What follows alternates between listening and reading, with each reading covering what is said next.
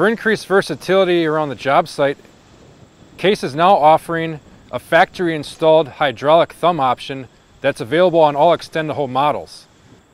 If you order your machine with an Extendahoe option and decide later that you want to add this thumb feature, you can do that through a factory DIA kit. Some other great features about this thumb are that it can be used with the mechanical or hydraulic bucket coupler. So changing different bucket sizes can be done quickly and easily without affecting the thumb at all. It also has two serrated high strength steel tines that work ideally with our 18 inch and 24 inch buckets. It has two adjustable positions, so depending on what types of objects that you're going to be working with, it can be adjusted for the best grip and feel on the machine. When the thumb is not being used, it has a bracket on the backside that can lock it securely to the Extendahoe so that it won't accidentally be activated.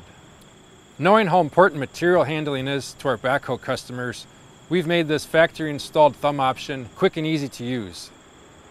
For more information on these new enhancements and updates and our entire lineup of N-Series backhoe loaders, please visit your local dealer or our website at casece.com.